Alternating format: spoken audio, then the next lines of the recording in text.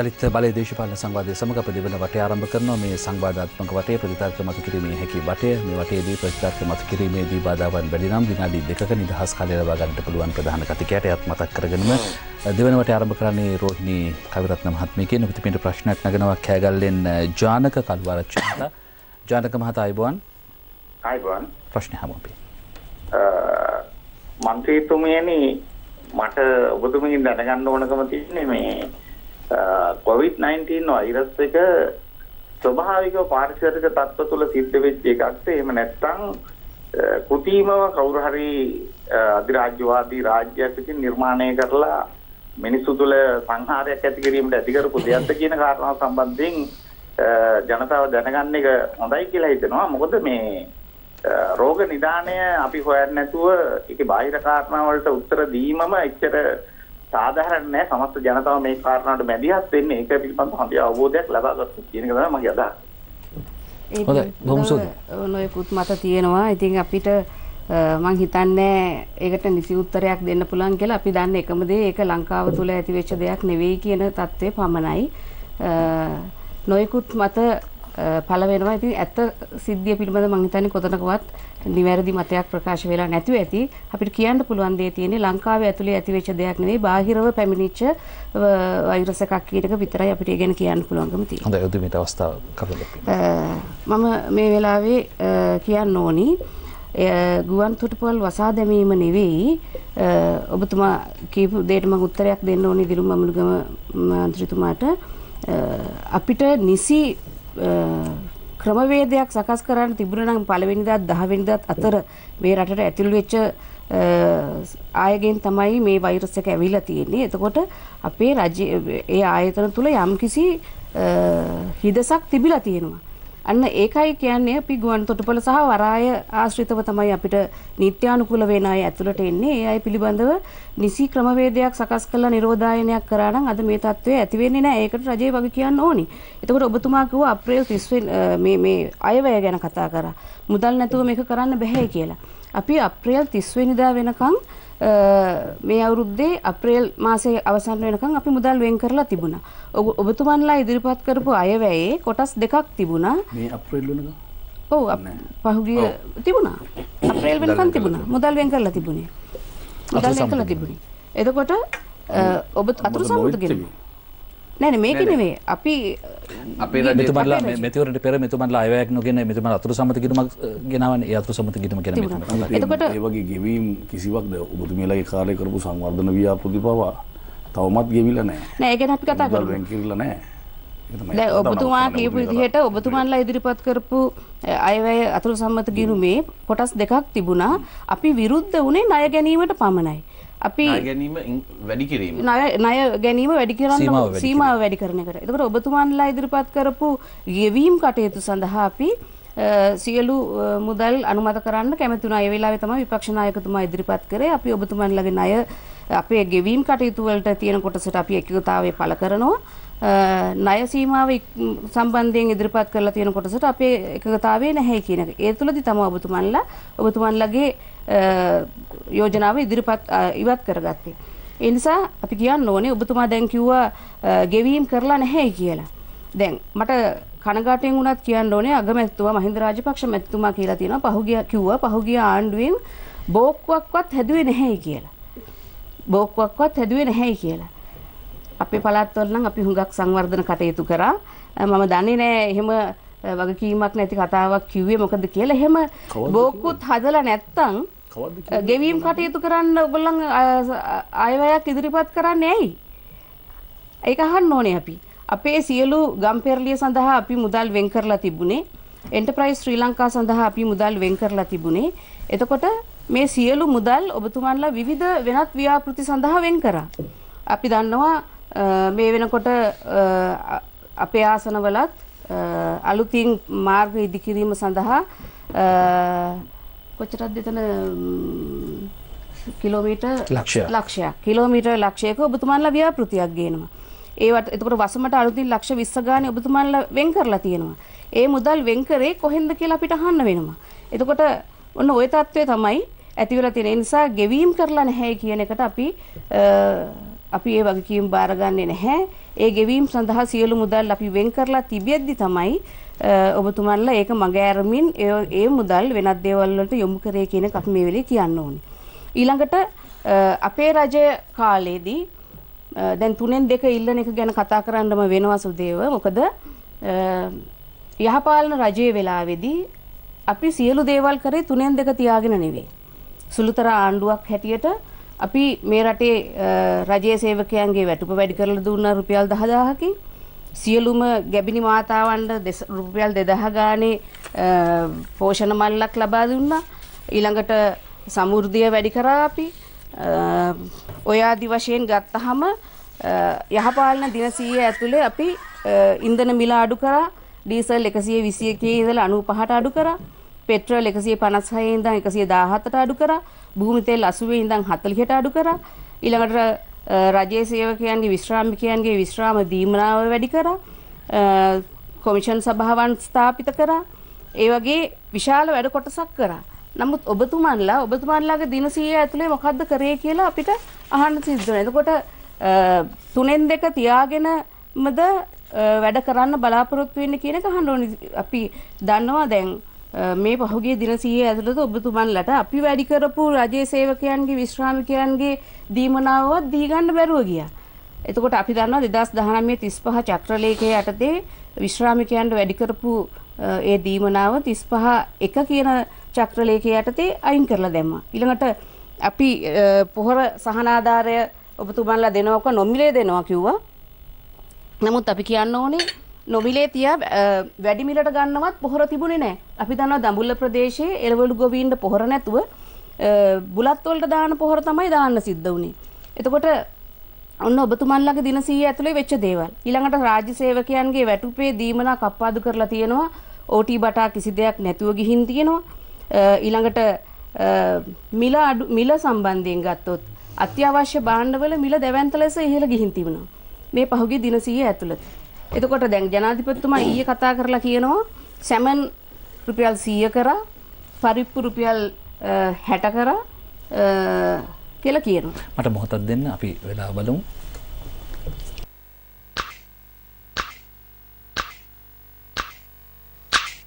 Vitamin C යකඩ සහ calcium අඩංගු මයිලෝ සමගින් පෝෂණයෙන් ඉදිරියට.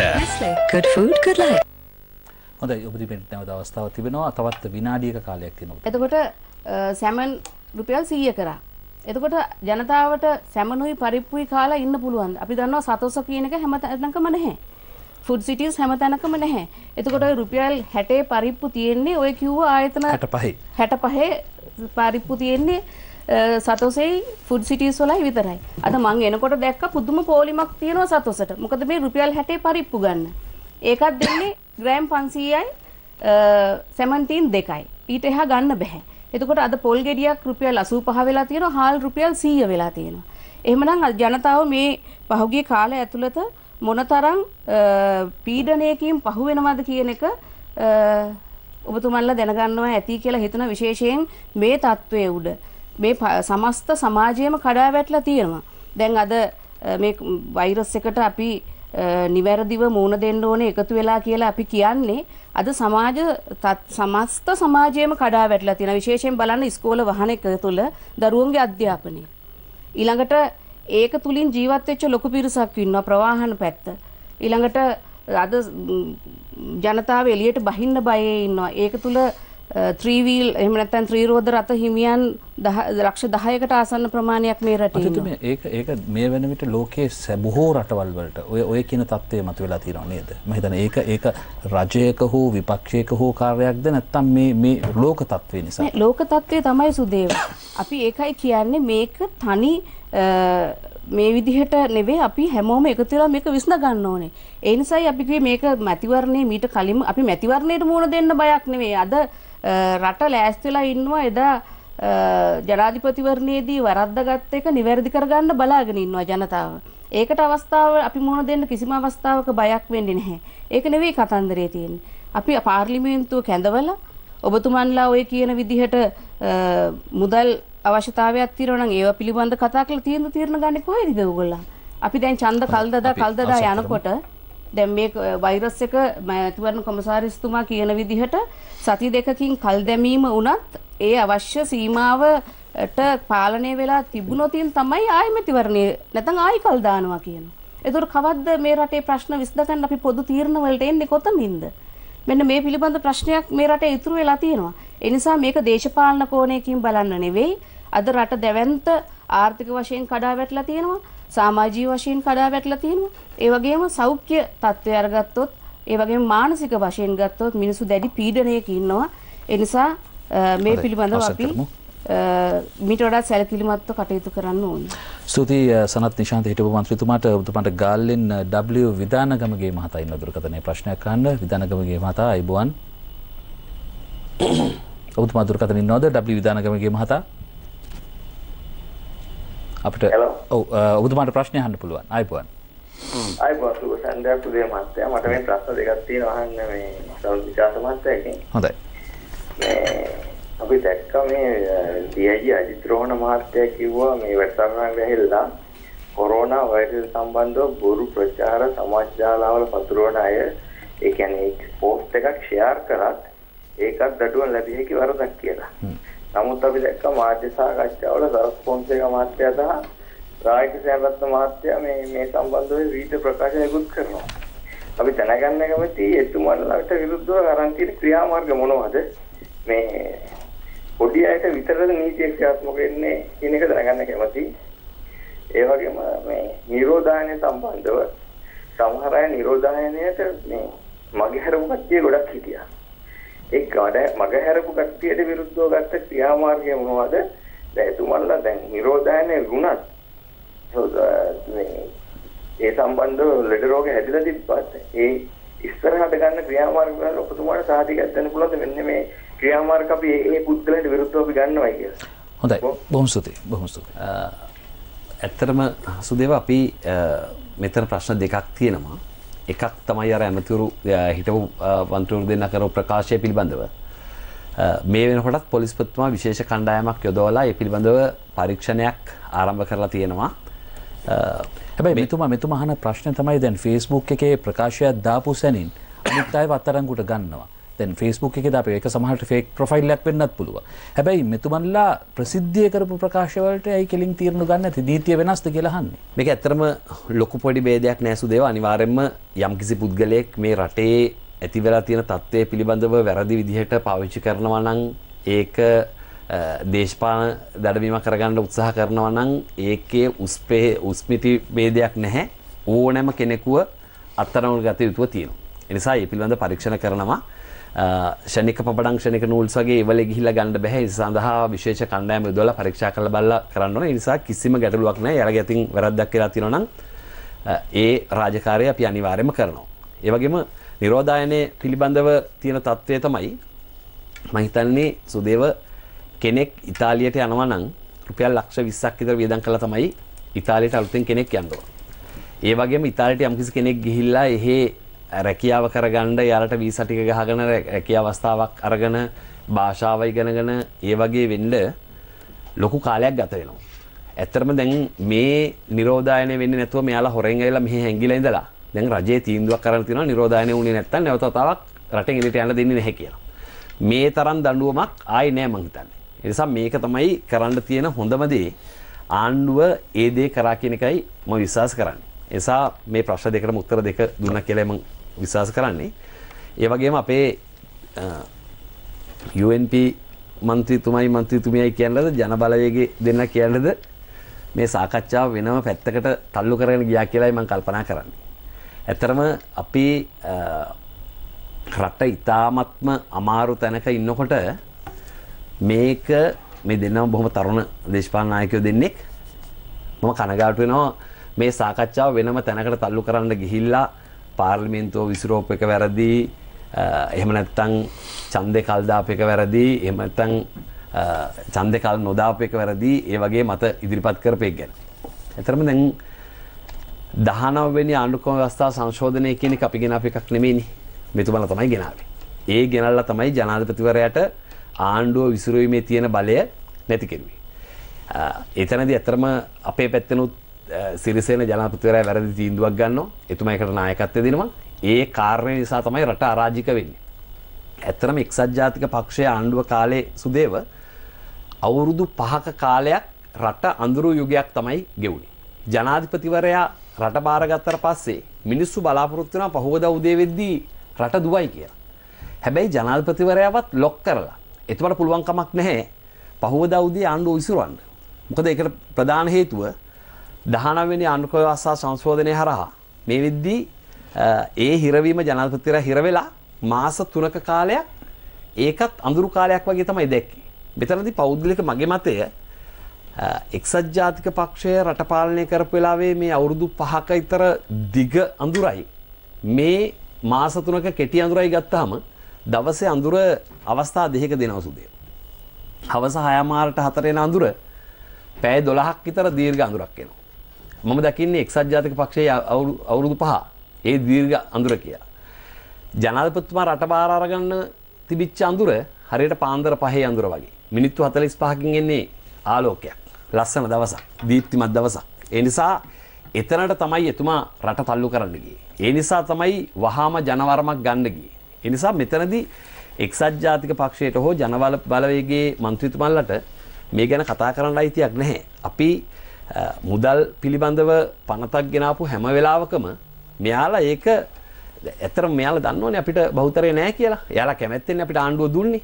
ආණ්ඩුව දුන්නනං නැවතතාවක් මැතිවරට යනකං උදව් කරන්න හැබයි මෙතුමල කියන ඒ කොටස් දෙකක් තිබ එක කොටසකට අපි එකඟ අනිත් කොට තම ප්‍රශ්න. හරි. සුදේ මං ඉතනට එන්නම්.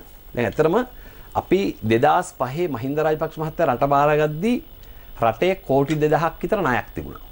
හැබැයි එතුමා රට බාරගද්දි රටේ මහමුහුදෙන් තුනෙන් දෙකක් මහපොළොවෙන් තුනෙන් එකක් කොටින් ඇත තිබිච රටක් බාරගත්තේ බෝම්බපුරන රටක් බාරගත්තේ සංවර්ධනයක් නැති රටක් බාරගත්තේ එතුම රට බාරාරගෙන ඉස්සල්ලම යුද්ධ රත ගහලා යුද්ධ ඉවර කරලා රටේ වරායවල් හදලා ගුවන්තරවල් හදලා අධිවේගී මාර්ග හදලා අස්සක්මුලක් නෑර විදුලිය දීලා ප්‍රජාශාලාව හදලා මාතෘසායනය හදලා ද්විතික පාසල් වැඩසටහන පොයිස්ත පාසල් වැඩසටහන ගමනැගුම මගනැගුම දිවිනැගුම මහත් දැවැන්ත වැඩ කොටසක් කරන්න රාජපක්ෂ ආණ්ඩුව ණය ගත්තා.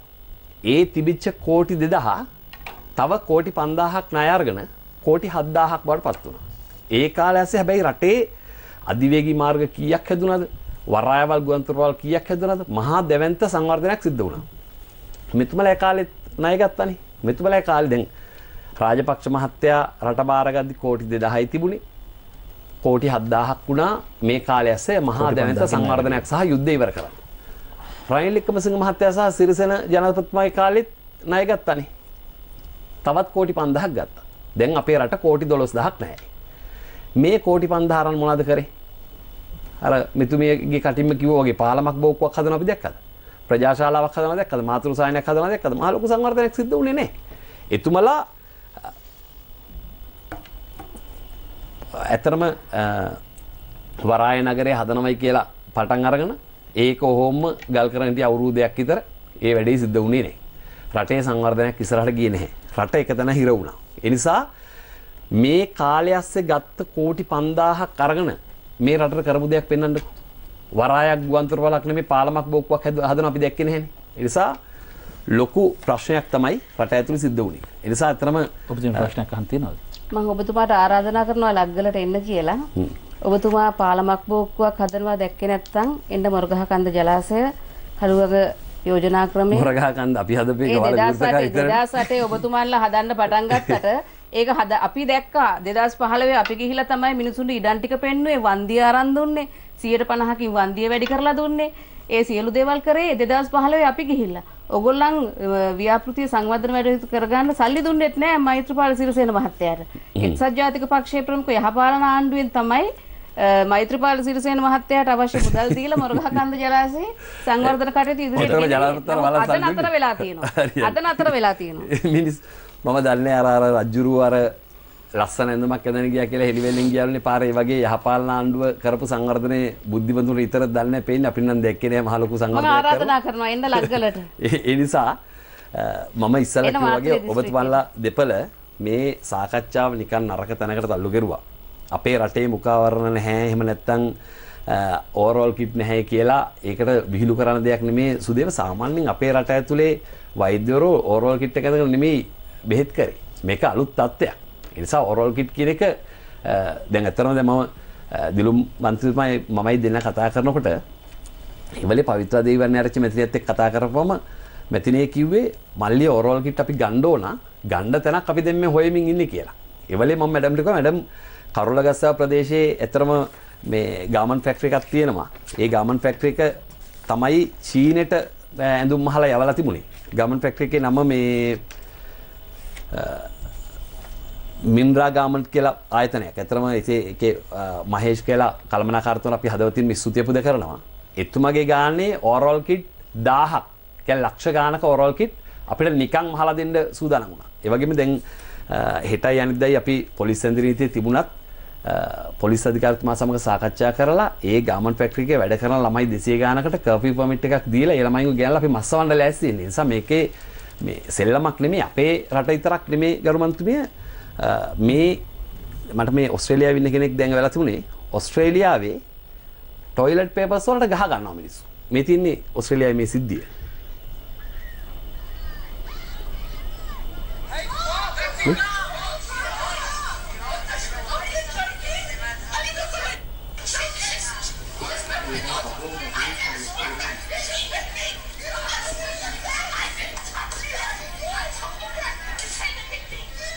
මේ ටොයිලට් පේපර්ස් වලට ඔස්ට්‍රේලියාවේ ගහ ගන්නවා. ඒක ඇත්තටම අපි අපි වගේ පුංචි රටක් අපේ රටේ මාස්ක් නැතුව ගියා ඔරෝල් කිට් නැතුව ගියයි කියලා ඒක විහිළුවකට භාජනය කරන්න එපයි කියලා ඔබතුමන්ලාගෙන් අපි කාරුණිකව ඉල්ලනවා.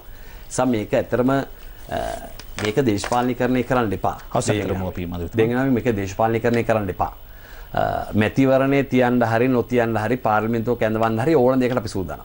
ඔබතුමන්ලා යෝජනා කරන්න මොකක්ද කරන්නේ අපි ඕනම දෙයකට සූදානම්. හැබැයි රටක් හැටියට මේ ප්‍රශ්න අපි රටක් ජාතියක් හැටියට අපි මුහුණ දෙමු කියන එකයි යෝජනාව. හොඳයි බොහොම ස්තුතියි අපිට තවත් විරාමයක් දෙන්න.